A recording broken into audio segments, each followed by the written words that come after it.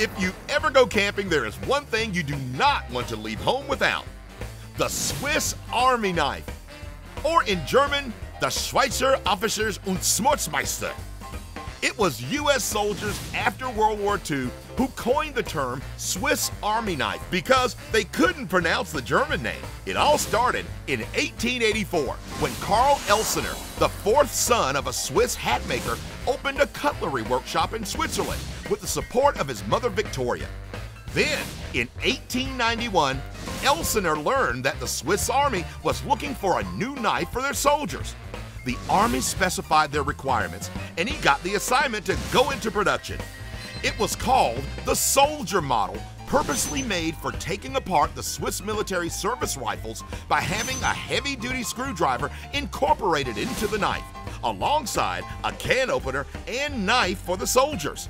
Eventually, Elsener started producing knives of all kinds of professions, like the Boy Scout knife and farmer's knife but the name Swiss Army knife was already carved into people's minds. So, how did the name for his company come about? It was to honor his mother who had passed. He took her name, Victoria, and the short French name, inoxydable, meaning rust resistant steel, and combined them. So, Victoria and Inox was formed into the company name Victorinox. Today, over 25 million knives are produced each year, and Victorinox has cut through the clutter of many other industries and offers other high-end items, including timepieces, travel gear, and apparel.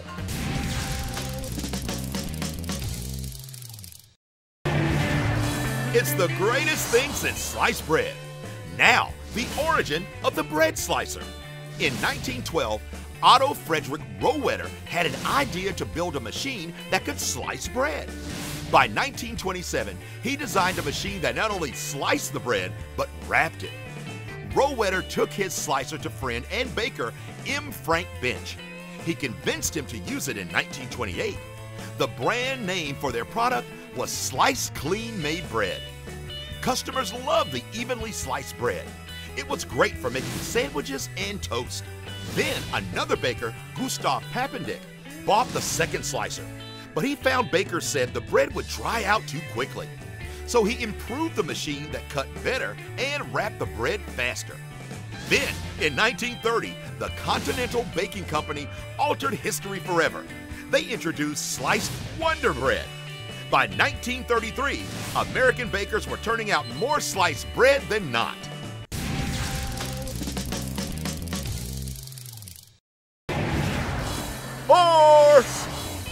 There is nothing like 18 rounds of golf on a beautiful large golf course.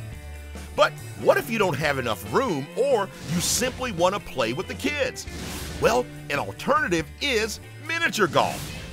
Windmills, obstacle courses, and all. But how did this tiny version of golf come to be? Well, some say it started in 1867 at the Ladies Putting Club in Scotland. It was said that the conservative views at the time had deemed it was inappropriate for women to swing their arms in such a violent manner. Those golf swings could be pretty aggressive. So, they built a more demure course. It was the first miniature golf course in the world. Large resort hotels would eventually offer these mini golf courses for their guests. The courses were one tenth the scale of a real golf course. Then, one man shook up the golfing world with his artificial turf. Now, these mini courses were accessible everywhere. But then, in 1938, two brothers from Binghamton, New York, started to build a variation of the scaled down versions of the courses. They introduced windmills, castles, and fun obstacles. And then, in 1955, two other brothers introduced hazards that moved, creating even more excitement. These courses are similar to the ones that we know today.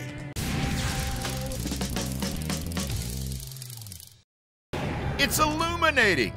When confronted with darkness, it's always good to have a portable light source. Enter the light stick. But how does a light stick give off light? It turns out it all has to do with reactions. Chemical reactions, that is.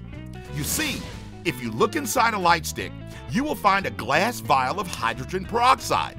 which floats inside a solution of phenyl oxalate ester mixed with a dye solution.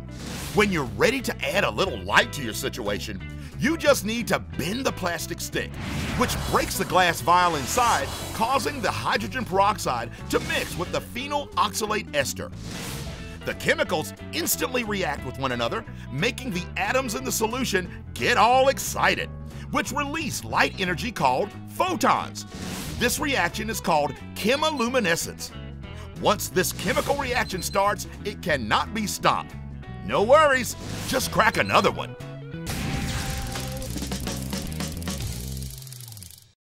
Tomorrow at high noon, it's just you and me. If you've ever watched an old Western, there always seems to be a scene where two cowboys face off at high noon. But what time is that? For folks living in the Northern Hemisphere, noon is 12 o'clock p.m. Well, would you believe that high noon actually meant 3 p.m.? That's because high noon was supposed to be nine hours after sunrise. Noon comes from the Latin word nono, meaning nine. But over time, the phrase high noon became known as midday, and midday is 12 p.m. Eventually, the word was just cut down to noon. So, there you have it. The sun is set on the phrase high noon. Good evening, partner.